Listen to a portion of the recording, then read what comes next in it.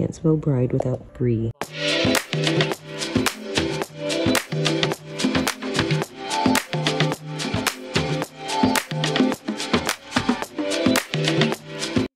To the vlog. We're gonna be doing, of course, some wedding updates. It has been a very busy wedding week, errand running. Picked up my wedding dress. I'm so excited about the wedding dress, guys. Like I, any excuse I get to put her on, I do. It just looks so beautiful. And when I first tried it on, it had like a nude underlay, but I wanted it white on white or ivory. I wanted it brighter, especially because it has such just beautiful beading and sparkles. I'm a real sparkly girl if y'all couldn't tell already. It looks perfect and the veil is so pretty. For jewelry, I'm actually gonna be wearing my mom's earrings that she wore on her wedding day, so that's my something borrowed. And I think I'm also, we're gonna be using her cake cutting set, which is so fun to try it on for the first time. That's gonna be my dress. I haven't had any alterations made. I am gonna have to have it taking in a little bit. I think I have three alterations. I was low-key nervous just because I feel like when you get on social media, and I feel like this is a common thing that I've seen with a lot of brides, after you haven't seen your dress for so long and then you start getting on Instagram and TikTok TikTok, you just see all of this dress inspo and you're like, did I make the right choice? Did I pick too quick? Should I have gone shopping at more than two stores? But I know myself, I know I would have been really overwhelmed. But once I put the dress back on, I was like, no, this was the, direct, the right decision. This is her, this is for me. And then when I put it with the crown, it just all came together so beautifully. Absolutely no dress regrets here. Guys, this is her. This is the dress. She's here in all her glory. I'm so happy. She is literally beautiful. I put it on today for my grandma and grandpa to see and they loved it. It's my favorite thing ever. I love it. The wedding planner, it's not really a wedding planner. It's kind of like a little, just like a little agenda that my cousin got me, but I've been putting a lot of the wedding things on here. It has been such a help. It's great. And now we go into the wedding drawer, as I like to call her. All this is wedding stuff. Go ahead and show you guys a peek of what's in here. This is our cake topper. You guys have already seen this. If you haven't, I will link the short right here. I just keep her very protected because I don't want it getting messed up in any way. Here is our little embosser. I'm so excited to use this for the invitations. Hold it, let it go. And there it is, our little embossed so NB, I'm so excited about this. That is gonna go on our invites. So these invites, you can see they have almost like a little bit of a linen material, but I literally just got these off of Amazon. I think it came in a pack of 50. So I think I got like 150. They were so affordable. Off of Etsy, I got our stick-on wax seals. They came out so good. So they just have on the back these little stickers on them. It's just gonna go like this. And I'll show you guys the finished full invitation. I'll link the TikTok once we assemble them later on, but it'll just look like this, black and white. And then we're going to either put the embossed NNB here or up here, probably down here because you're probably putting addresses up there. It'll probably like the send back address or the letters. My aunt is actually going to Cricut on the letters with the Cricut pen. So I bought three of these Gelly pens and I'll link all of this down below as well. But everyone says that these work really good, especially on black envelopes. So that's why we got these. Vellum jackets put the invitations in, the little adjustment uh, for the Cricut. Like I think you can put any pen in this, a little adapter. Got these off of Amazon as well. All the flower arrangements. I'm so excited about these. want to put little hidden Mickeys in all of the flowers, at least three in each arrangement. it's like a slight Disney theme and it looks so pretty in the garden and like fairy tale-esque. I just think they look so cute and it'll just be like a little touch of Disney. This little guy will go in my bouquet. This one was a little bit pricier and it was so tiny. I just love how the rhinestones looked on his, like a little, a little something. The wax cord that I bought for the invitation as well, also on Amazon. Things of white wax, so I bought more from Amazon. And I know you're thinking like, why do you need this? So the wax cords, we're gonna have to seal it with the wax they the wax seals but it's not going to work with the stick-on ones the stick-on ones are literally just for the outside of the wrapping i was going to use it for both and then that's like that's not to work girl so we went ahead and got a wax seal so we can actually do wax presses. And for that other touch of Disney, we're doing little hidden Mickeys. I bought so many of these like champagne and white flower petals. I was to use this for the petal toss, but then our venue let us know we can't petal toss faux florals. So that was upsetting. So I don't know what I'm to use these for. My favorite part. Guys, look at this. Look at this It's so pretty, also from Etsy, and it is called the Rapunzel Crown. If you guys don't know, Tangled is one of my favorite movies ever. Our proposal was Tangled theme. I saw this, I was like, this is literally what I was looking for. It has so many flowers and kind of like the little vines. It's like perfect for our venue. It is so pretty. And I was looking for a crown with a hidden Mickey, but not too crazy. And Look where he is. A little hidden Mickey for that other touch of Disney. Just for me, right there. And it is so cute. Put everything on, like the crown, the earrings, everything with the dress. It looked so good. So I kept it in here with the dress straps. The first thing we went ahead and did was our design meeting yesterday at our venue. It was with the people at our venue. So our venue offers wedding coordinate, a day of coordinator and also wedding planners. So yesterday we went over so many details. We went over where decor is gonna go, how many guests were expected. We scheduled our tasting, which is exciting. So that's gonna be for like the end of June. I'm so excited to try all the food and nail that down. The menu looks delicious. What the florist is bringing, or what we're bringing in decor-wise, things about the groomsmen and the bridesmaids. Also, if we wanted any extra rentals our venue, it is so pretty. It is very gardeny and lush and green. The inside of it is a tent, which is where the reception will happen. And there are some little upgrades like chairs and add-ons over the sweetheart table, we did upgrade our chairs, upgraded this like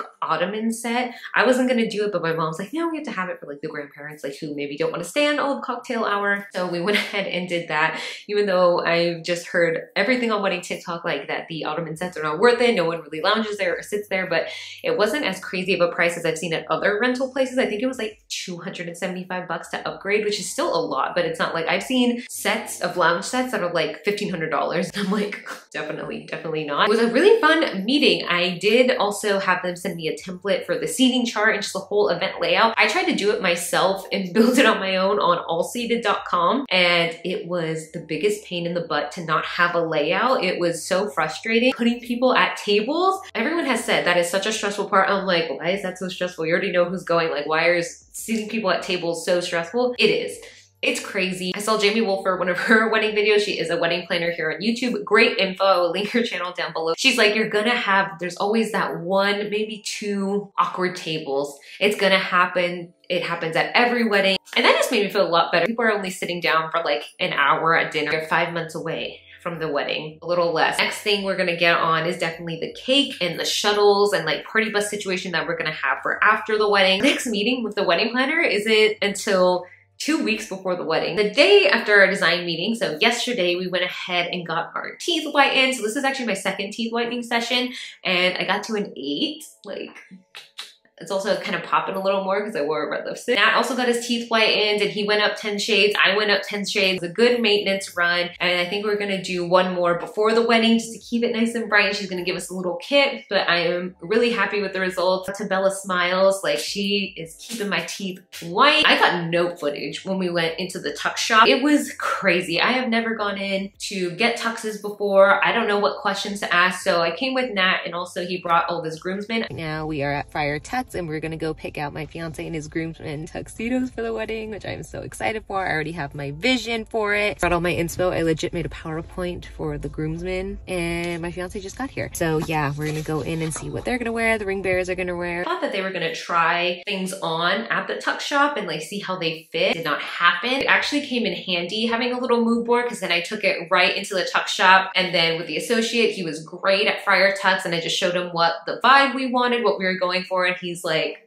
right here. I just think it looks so classic, so clean. I feel like that's kind of our vibe. And we also just got some price differences, like rentals versus if you wanted to buy the tux think with rentals, Nat would get his rental for free since we have such a large wedding party. You're gonna buy it, I think it's like 25% off of purchasing. Maybe some wanna buy, some wanna rent. Another wedding thing checked off our list. Such big wedding parties have some stuff to do, so I went ahead and made it in a nice PowerPoint so they can get the vibe and also have something to reference. I put our wedding website on it, our registry, just anything that they have questions on. I do one for the bridesmaids too, and it was more just so you can have everything in one place and then not have to go searching in 5,000 groups group text to get what you want to get. Speaking of that, I also have to text some of my bridesmaids who has bought their dress and who hasn't since we're kind of doing the groomsmen stuff. that I'm from Revelry. Depending on how busy they are, it could take two to three months for those dresses to come in. So I'm like, oh, we I actually need to get on that and ask if they bought it. And I think a lot of them have, like forgetting everything. And then the batch planning is in full swing. I need to buy my flights for the batch. We are going to Scottsdale. I'm so excited for that. I got a lot of outfits. I'm going to insert right now my outfit try-ons. These are all my white outfits for all my events. I might be buying one more dress, but also I'm like, I don't know if I'm gonna wear where another white dress too. Okay, so this is the first thing on our bridal haul. It's just this white set from Amazon, super cute. Love to wear it when I'm lounging. You can untie this and it's more of like that button-up shirt style. I like it tied. I think this would be a really cute getting ready bridal outfit. So if you're getting ready for your wedding day, although I have another one that I will show you that I think is a little bit cuter for that. You can wear it for like pajamas, like the night before, or for your bachelorette. I'm really loving this piece. I think it is super cute. This is definitely one of my favorite outfits. A little different because it is all black. For my bachelorette, I'm actually gonna be having a night where all my bridal party is wearing all white and I'm in black one because I just love wearing black outfits. I did get some questions on this and this is what I wore to our engagement shoot for the second outfit. So cute. I love it. I just felt like it looked so chic. Usually I get nervous with blazers like this because since I have a bigger chest, I need something with a very deep V or else it looks way too boxy on me. So this little set is perfect. I feel like you can also wear it on a night out, on a date night. So it's also very versatile. I highly recommend. I'll try and find a set that is very similar and link it down below. I might be able to find one from 12th Tribe, but this was from Miss Lola and I think it is sold out. You'll have to visualize, come on a journey with me. This is more of a batch outfit I'm thinking of, but only the top half. There, if I'm gonna use it with this blazer, this blazer is so cute. It's from Petal and Pup. I might even just wear this with some other things, like maybe for my bridal shower, like if it gets cold, obviously we love some fur. See the top, again, ignore the pants. Thinking of this more with the skirt since my bachelorette is gonna be in Scottsdale, so it is gonna be pretty hot and one of the theme nights is glitz and glam. Also have these white boots that would look perfect with this. This skirt from 12th Tribe that I think I'm gonna buy next week. Just, I don't have it yet. I keep debating for the different nights what I'm going to wear. Now for the glitz and glam theme, this is the one I'm obsessed with. This is from Opoly and I'm sure you've seen this. I've seen it all over bridal TikTok, but I am obsessed with it, obviously. I have not tied it, so once it's tied, it fits a little better too. Figure for batch night, either at dinner or maybe for the glitz and glam night. It is just so cute. Love the slit, a little sexy. We just love like the pearls are so beautiful. Like the detail on this is chef's kiss. It is just everything to me. The detail and the beading just on the shoulder. It hits in all of the right places that I need it to feel like it shapes my body really well. Look at these sleeves. And it looks like that all around. Definitely a batch outfit choice is definitely one of my favorite purchases bridal wise. The last few things, my mom actually got this for me. I will link down below if I can find it. But I think this is what I'm gonna wear to my wedding shower. So cute, I love it. And I'll have some better like tape and things to keep the girls up. I love the sleeves. I love how it just looks really romantic. I feel like it really does fit the vibe of a wedding shower, or bridal shower. I love the floral lace like material. I don't feel like it's too see-through. It is really good quality. I love the deep V. Just think it looks so good, so classy, very cute, really shapes my body well again. I'll be getting the matching robe and this is actually from the robe.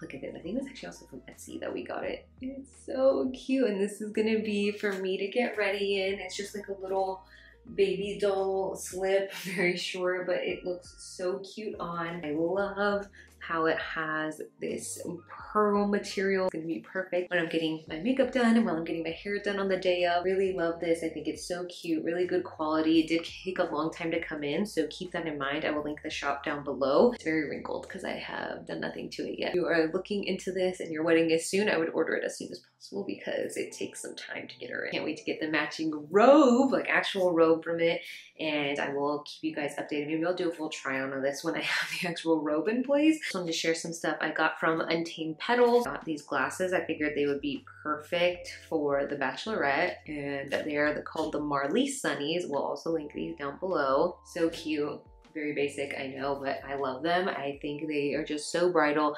Again, I know me loving pearls, shocking. I'd probably easily DIY this. not a huge DIY girly, it's like 60 bucks, so not too bad. I feel like good quality.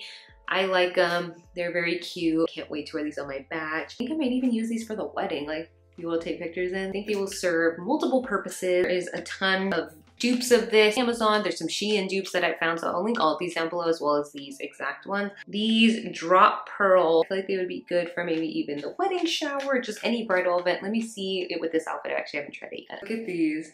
This is so cute. Really pretty, really elegant, but still very timeless, but also trendy and a little bit different. We are ready to get married. We're ready for a batch weekend. I love really good quality. I don't feel like they're gonna break. I love that I picked the gold instead of the silver. It's just subtle. I love mixing metals anyway. Those are all the outfits I have so far that I've accumulated. I just give you this preliminary try on. I'll probably do it again and do a full updated outfit as we get closer to the wedding shower, which is, oh my God, almost at the end of April, so like it's a month away. Since we are doing a wedding update video, that I would include some things I got this weekend as birthday gifts, and they're so cute. So first, my Nina got me these silk pillowcases so cute. So this one says hubby on it, and this one says wifey. Me a silk pillowcase, and then my Yaya got me these says the bride, the groom, just these really cute little koozies. And then she made me this cup, me this mug also. So went to Francesca's to pick up some gifts for a friend. And this is so cute. I couldn't help myself on the back. It's just canvas, sparkles, so pretty. Also, like can't spell bride without Bri. All links will be linked down below for all the outfits, earrings, everything. Let me know in the comments below what when you guys are getting married or if you're a 2023 bride or if you're just you just like wedding content because this is such an exciting season of life and I have been loving every minute of it.